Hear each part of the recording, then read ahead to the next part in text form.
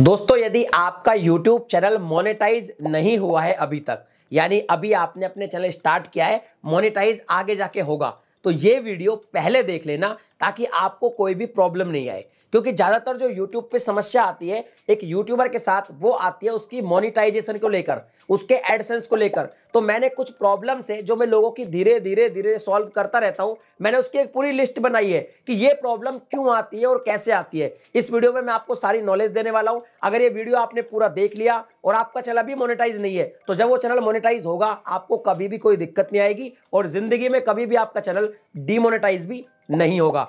तो वीडियो बहुत नॉलेजेबल बनाए, इसको अभी से लाइक कर दीजिएगा। चैनल पे पहली बार आए सब्सक्राइब करने के साथ नोटिफिकेशन बेल को दबा के ऑल पे भी क्लिक कर दीजिएगा, क्योंकि ऐसे हेल्पफुल कंटेंट आपको यहाँ पे मिलते रहते हैं। नमस्कार दोस्तों, मैं हूँ योगी योगेंद्र। आप देख रहे हैं technical Yogi no drama no click bait all इटैक तो यहाँ पे मैंने पूरी लिस्ट अपने मोबाइल में लिखी हुई है कि कौन कौन सी प्रॉब्लम आती है। सबसे पहली जो प्रॉब्लम आती है एडसेंस को लेकर, वो ये आती है कि हम एडसेंस बनाए कब?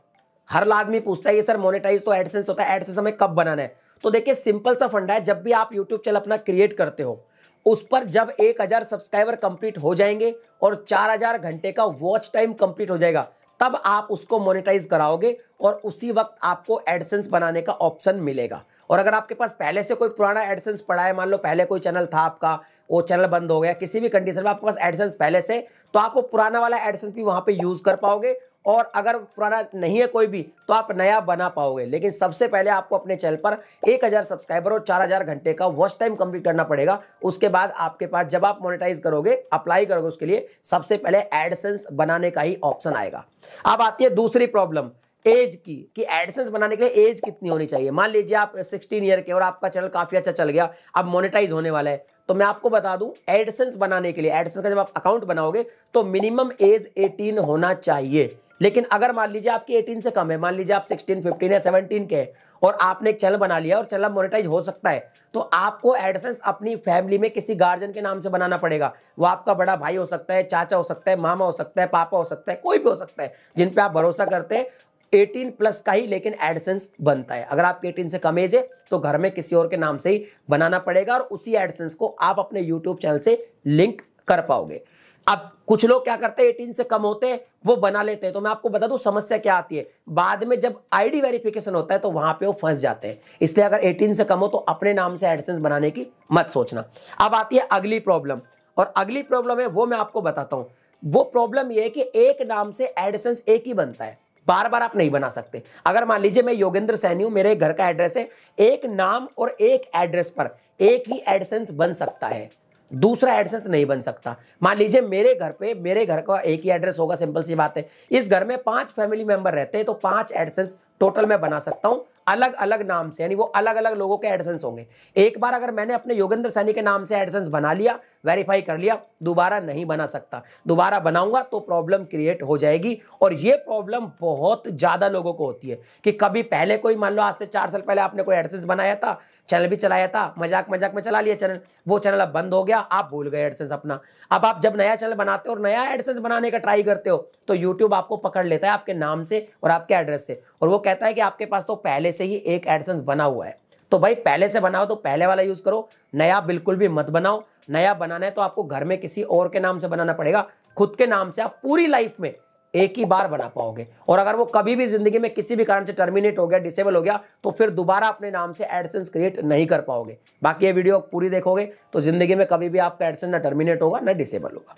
अब आती है यहाँ पे नेम की बात। तो होता क्या है कि हम जब भी एडसेंस बनाते हैं, वहाँ पे हमें अपना नेम और एड्रेस भरना होता है। तभी हमारे घर पे एक एनवलप आता है, बताऊँगा एनवलप का क्या मैटर तो इसमें एक मेन गलती हो जाती है कुछ लोगों से कि वो क्या करते हैं, अपने नेम की जगह चैनल का नेम डाल देते हैं और एड्रेस अपने घर का डाल देते हैं। अब सोचो, चल का नेम आपने डाला और मान लीजिए आपने घर का एड्रेस भी डाल दिया। तो जब वो एनवलप आएगा, वो आपके चैनल के नेम के नाम पे आ जाएगा। अब चैनल नेम से कोई बंदा नहीं है। मान लीजिए आपका जो चैनल है, उसका नाम है फाइनेंस मास्टर और आपने मान लीजिए एड्रेस में यही नाम लिख दिया फाइनेंस मास्टर और एड्रेस लिख दिया। अब जब लिफाफा लेके आएगा डाकिया तो वो फाइनेंस मास्टर को कहाँ ढूंढेगा भाई? आपका नाम तो मान लीजिए अमित है। तो भाई कुल मिला आप अपना ओरिजिनल नेम जो आईडी के अंदर है, वो ही डाले। एक चीज़ और मैं आपको बता दूँ, यहाँ पे आती है आईडी की प्रॉब्लम देखो, अभी कुछ दिन पहले एक प्रॉब्लम आई थी एक बंदे के साथ। मैं आपको एक चीज़ क्लियर कर दूँ एडसेंस को वेरीफाई करने के लिए दो तरीके हैं और दोनों ही तरीके मैंडेटरी है। दो तरीके से एडसेंस को वेरीफाई किया जाता है। एक तरीका है आईडी वेरिफिकेशन का और दूसरा है एड्रेस वेरिफिकेशन का।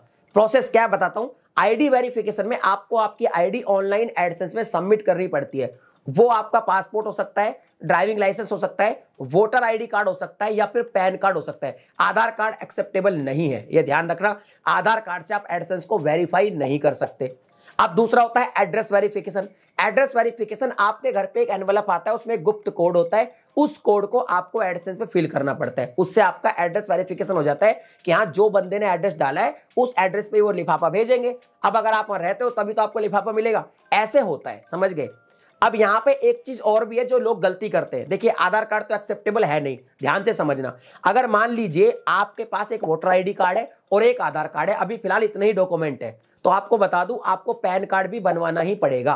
पैन कार्ड बहुत ज़्यादा ज़रूरी है मैंडेटरी है। तो अब क्या कर सकते हैं आप? आपके पास दो कागज़ है फ़िलहाल। अभी एक प्रॉब्लम मैंने सॉल्व किया एक बंदे के पास दो कागज़ थे, आधार कार्ड था और भैया वोटर आईडी कार्ड था। अब आधार कार्ड जो है, उससे तो भैया एडसेंस वेरीफाई होता नहीं है। होता है, या तो पैन कार्ड से, या तो पासपोर्ट से तो डीएल से तो वोटर आईडी कार्ड से। तो उस भाई ने अपना वोटर आईडी कार्ड मुझे दे दिया कि, सर, मेरे पास फ़िलहाल एक ही डॉक्यूमेंट है, वोटर आईडी कार्ड, जिससे मैं वेरीफाई करवा लेता हूँ। हमने क्या किया, वोटर आईडी से वेरीफाई कर दिया एडसेंस को। एडसेंस वेरीफाई हो गया।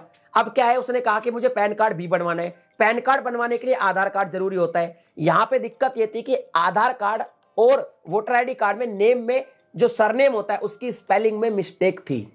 अब स्पेलिंग में मिस्टेक थी तो आधार कार्ड के पे जो नाम था, उस नाम से बन गया पेन कार्ड। तो अब दिक्कत हो गई। यहाँ पे एक चीज़ हमेशा ध्यान रखना, आपके पास जो भी डॉक्यूमेंट है, उनके सबके नाम इक्वल होने चाहिए। आप इसको चेक कर लेना। अब दिक्कत ये हो गई कि एक बार अगर आपने वेरीफाई कर दिया किसी भी नेम से एडसेंस को तो वेरीफाई करने के बाद आप एडसेंस में नेम चेंज नहीं कर सकते।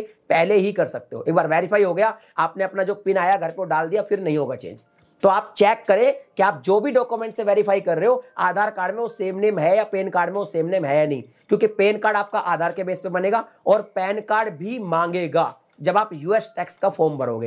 एडसेंस में एक यूएस टैक्स का फॉर्म भी भरना होता है, वहाँ पे आपको अपना पैन कार्ड लगाना पड़ता है। तो नेम हमेशा अपने डॉक्यूमेंट में चेक कर ले, नहीं तो बाद में आपको प्रॉब्लम हो सकती है। ये चीज़ है। अब आप शायद क्लियर समझ गए होंगे।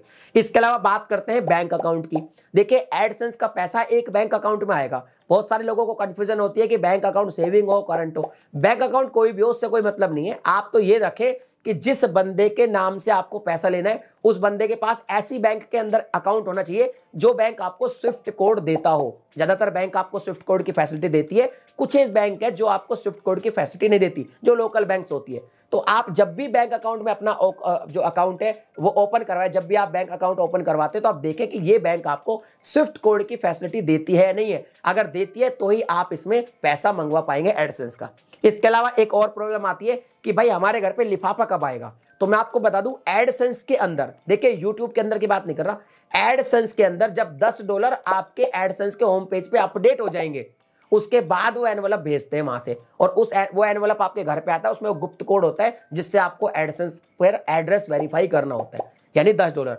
और जब 100 डॉलर अपडेट हो जाए एडसेंस के बाद, उसके बाद ही पेमेंट आता है। ये आप ध्यान रखें। अगर किसी मंथ आपके 100 से कम है तो अगले महीने के लिए वो कैरी फॉरवर्ड हो जाते हैं। कुछ लोग क्या करते हैं? उनके व्हाइट स्टूडियो में 10 डॉलर कंप्लीट हो जाते हैं। मेरे को आके सवाल पूछते हैं इंस्टाग्राम पे स्क्रीनशॉट भेज के कि, सर, हमारे दस डॉलर देखो व्हाइट स्टूडियो में हो गए, लेकिन एनवलप नहीं भेजा। भाई होम पेज पे एडसेंस में अपडेट होने चाहिए।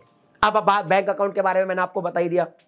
अब यहाँ पे कुछ लोग सवाल करते हैं। मान लीजिए मैं योगेंद्र सैनी हूँ। लेकिन मैं मेरे एडसेंस के अंदर मेरा अकाउंट नहीं लगाना चाहता, मैं अपनी वाइफ का लगाना चाहता हूँ। तो क्या ये पॉसिबल है? बिल्कुल पॉसिबल है, आप लगा सकते हैं, कोई दिक्कत नहीं है। लेकिन एक चीज़ ध्यान रखना, कल को आप जब ज़्यादा कमाते हो तो जिसके अकाउंट में पैसा आ रहा है टैक्स उसी पर लगेगा, क्योंकि गवर्नमेंट तो उसी की इनकम मांगेगी। तो सबसे अच्छा तरीका है कि उलझे चक्कर में पड़ो ही मत जिसके नाम से एडसेंस है, उसी का नाम का अकाउंट यूज़ करो। आपको लाइफ में ज़्यादा हेडक लेने की ज़रूरत नहीं है सिंपल सा काम करो। जितना ज़्यादा उलझोगे, उतनी प्रॉब्लम क्रिएट हो जाएगी। अब यहाँ पे एक बात आती है कि देखिए एडसेंस से यूट्यूब भी मोनिटाइज करवाते हैं हम वेबसाइट भी करवाते हैं और ब्लॉग भी करवाते हैं। तो कुछ लोग पूछते हैं कि, सर, एक ही एडसेंस में हम कितने चैनल मोनिटाइज करवा सकते हैं? तो आप एक चैनल से कितने भी चैनल मोनिटाइज करा सकते हो। मतलब एक एडसेंस अकाउंट से। मैं योगेंद्र सैनी हूँ, मेरा एक एडसेंस अकाउंट है, मेरे चार चैनल है। मैं चाहूँ तो चारों को एक ही एडसेंस लगा सकता हूँ और चारों मोनिटाइज रहेंगे, चारों के पैसे इकट्ठे होकर एक एडसेंस में आ जाएँगे और मेरे बैंक अकाउंट में पहुँच जाएँगे। और मैं अगर चाहता हूँ कि यार कल को मेरे एडसेंस में कोई दिक्कत आ गई तो मैं अलग अलग रख लेता हूँ। तो मैं ऐसा भी कर सकता हूँ, भाई दो चैनल में अपने नाम से, अपने जो एड नाम से एडसेंस है, उस पर लिंक कर दूँगा, दो मैं अपनी वाइफ के नाम से कर दूँगा। ऐसा भी कर सकते हो और एक में भी कर सकते हो। इसके अलावा अगर आपका ब्लॉग या वेबसाइट है, उसको भी लिंक कर सकते हो। यानी एक ही एडसेंस से आप अपना वेबसाइट ब्लॉग और यूट्यूब चैनल भी लिंक कर सकते हो। लेकिन शर्त यह है कि YouTube के लिए अलग मैंडेटरी मोनेटाइज की यहाँ पे आपको अलग से मोनेटाइज कराना पड़ेगा और वेबसाइट ब्लॉग के लिए आपको अपने एडसेंस को अलग से अप्रूवल लेनी पड़ेगी। बट आप एक ही एडसेंस ही रखना है तो उससे सब कुछ लिंक कर सकते हो, ठीक है? इसके अलावा एक और दिक्कत आती है और वो आती है रीयूज कंटेंट की, कि एडसेंस में क्या करते हैं? जब हम यूट्यूब चैनल बनाते हैं तो हम बहुत सारा ऐसा कंटेंट अपने चैनल पे डाल लेते हैं जो हमने नहीं बनाया होता, हम कहीं से कॉपी कर लेते हैं कंटेंट को। अब हमारे ऊपर कोई कॉपरेट वो आता नहीं है स्ट्राइक तो हमें लगता है कि जब कोई कॉपरेट स्ट्राइक हमें दे ही नहीं रहा तो हमारा चैनल मोनिटाइज हो जाएगा। लेकिन यूट्यूब की पॉलिसी है कि अगर आपके ऊपर कोई भी कॉपरेट स्ट्राइक नहीं है, फिर भी आपका कंटेंट आपका खुद का नहीं है तो रीयूज कंटेंट पॉलिसी की प्रॉब्लम आएगी और उसकी वजह से आपके चैनल को मोनिटाइज नहीं किया जाएगा। तो कुल मिला के कॉन्टेंट अपना खुद का ही बनाना है। अगर किसी का आप कॉपी करते हैं तो उसमें अपना वैल्यू ज़रूर ऐड करें। वो आपका यूनिक वीडियो होना चाहिए, नहीं तो रियूज कॉन्टेंट की प्रॉब्लम आएगी ही आएगी। इसके अलावा, आप अपने चैनल पे कोई भी ऐसी वीडियो ना डालें, जिससे आपको कम्युनिटी गाइडलाइन की प्रॉब्लम आ जाए। अगर कम्युनिटी गाइडलाइन स्ट्राइक आपके चैनल पर है और आपके चैनल पर एक हज़ार सब्सक्राइबर, चार हज़ार घंटे भी पूरे हो गए तो भी आपके चैनल को मोनेटाइज नहीं किया जाएगा जब तक वो स्ट्राइक नहीं हटे। आप कम्युनिटी गाइडलाइन स्ट्राइक से आप कैसे बच सकते हैं? इसके लिए मैंने यूट्यूब के ऑल रूल्स का एक वीडियो पहले से बनाया हुआ है। ऊपर आई बटन में दे दूँगा, जाके आप देख लेना, आपको यूट्यूब के सारे रूल्स पता चल जाएँगे। और एक आता है कि आप अपने चैनल की एक थीम रखें, जब भी आप चैनल बनाए, एक थीम रखें, उसी थीम पर सारे वीडियो क्रिएट करें। वीडियो क्रिएट करेंगे तो आपको कोई भी दिक्कत नहीं आएगी। इसके अलावा एक और भी पॉलिसी है कि जो वॉइस है, जो वॉइस आप अपनी वीडियो में डाल रहे हैं, वो टेक्स्ट टू स्पीच वॉइस नहीं होनी चाहिए। कंप्यूटर जनरेटेड वॉइस जो होती है, उसको यूट्यूब मोनिटाइज नहीं करता है। तो ये एडसेंस के कुछ नियम थे, जो मैंने आपको खुल के आज बता दिए। अगर आपका चल मोनिटाइज नहीं है और ये वीडियो आप पहले देख लिए तो शायद आपके बहुत काम आएगा, आप कोई भी गलती नहीं करोगे और आप हमेशा यूट्यूब से पैसे कमाते रहोगे। आपको कभी भी कोई भी दिक्कत नहीं आएगी। फिर भी अगर आपका कोई सवाल रह जाता है, आप मुझे कमेंट सेक्शन में लिख के बताइए। अगले वीडियो में मैं ट्राई करूँगा कि उस सवाल का भी आपको सोल्यूशन मिल जाए। ये वीडियो पसंद आई है लाइक कीजिएगा शेयर कीजिएगा। चैनल में पहली बार आए सब्सक्राइब करने के साथ साथ नोटिफिकेशन बेल को दबा के ऑल पे क्लिक कीजिएगा। इसी तरह के कॉन्टेंट मैं आपके लिए बनाता रहता हूँ। चलिए मिलते हैं अगली वीडियो में एक नए टॉपिक के साथ। तब तक के लिए जय हिंद।